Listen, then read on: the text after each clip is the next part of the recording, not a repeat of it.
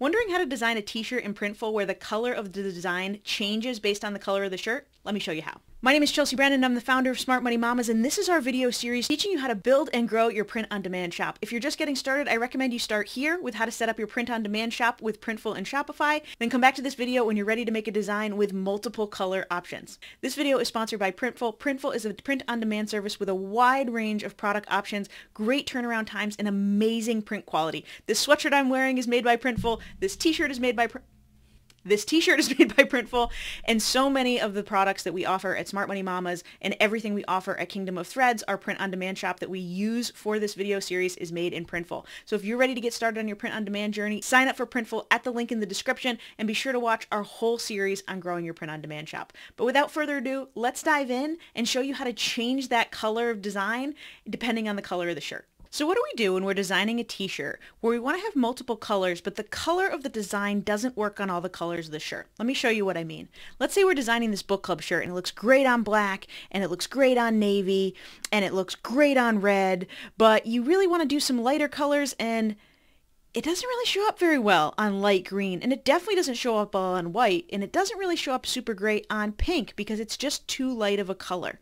And so you want to have all these colors of shirts available, but you want to make sure you have the right color on the right shirt. Ooh, I really like that. So first you're going to pick what uh, colors you want. So I want black heather, I want navy, I want heather midnight navy, um, I want, I like all the heather colors. Those are my favorite.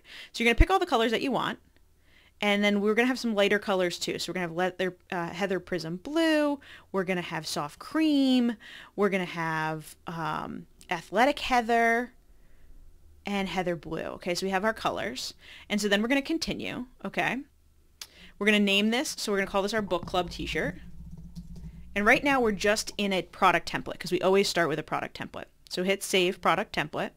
So now we have our template and the next thing we want to do is it needs to be added to the store. So this has to be an actual product to fix the problem, which is kind of frustrating, um, but you can just wait. So we're going to select all the sizes and this exceeds our variant. So we have too many colors. So we're going to get rid of 5XL. We still have too many. We're going to get rid of 4XL. Okay. And so now we're ready to proceed to mockups. And we're going to use a flat lay mockup. Let's do these wrinkled mockups, okay? So we've got our shirts. We're going to proceed to details. This is going to be called our book club member t-shirt. We change all the descriptions and things in Shopify, so we're just going to go to pricing. And we're going to set our pricing, okay? So for pricing, all of our products are $24. And we're going to be able to move forward. Submit to store. All right, so now the product is in our store. So what we can do is we can go to stores, Go to Kingdom of Threads. We did this in Shopify, so we want to go to the Shopify one. All right, so now it's in a product and we're going to hit edit.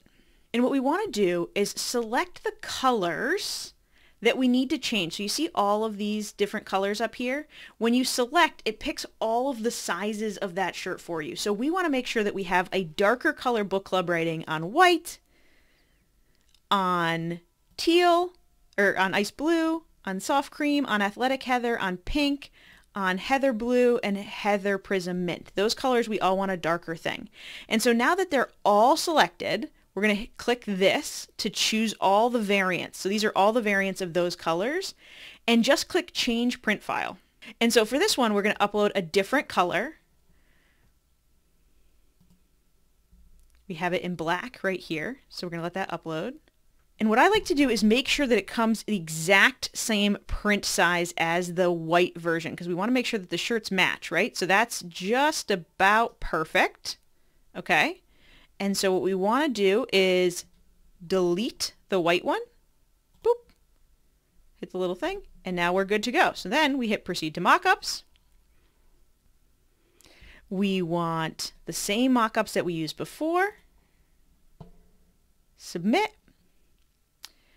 Now, the only thing that changes is that it won't upload new mockups for us into Shopify. So what we have to do now is get new mockups for our lighter images.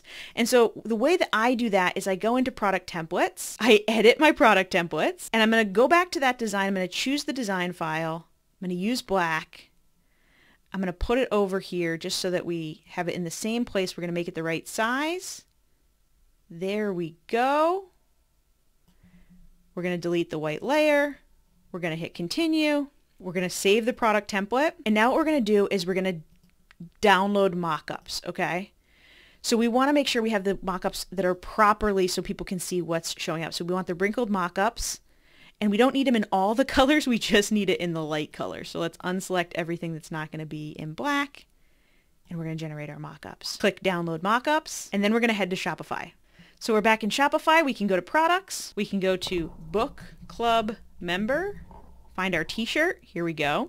And now we need to edit these files. So we're going to select all the things that are going to change the color. So definitely white, white, green, all these ones, these seven.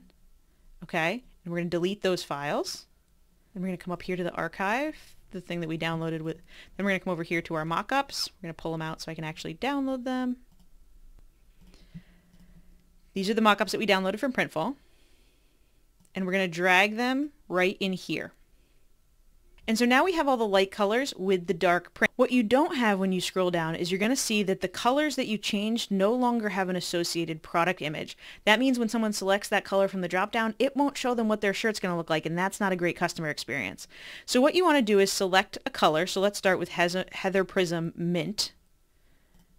Hit More Actions, and then hit Add Images.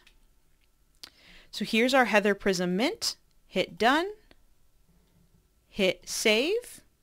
And now if you go to the listing of our shop and you click Heather Prism Mint, it shows you the right shirt. And that's how you make sure you can have one t-shirt with multiple different design colors. Putting all the variants for one design into one listing makes your shop easier to navigate and lets you give a wider range of options to your customers. It really only takes one extra step to make sure that you can have both light and dark color shirts with the same design available in your shop, and I hope this helps you get that set up. Make sure you hit the subscribe button and click the little bell for more videos on building and growing a print-on-demand shop and to learn how to build generational wealth that aligns with your values because that's what we do here at Smart Money Mamas. I can't wait to see you next time. Good luck with your shot.